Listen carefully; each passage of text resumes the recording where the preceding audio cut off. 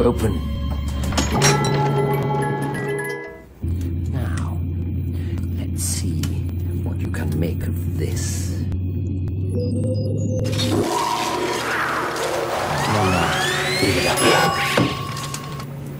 Goodbye.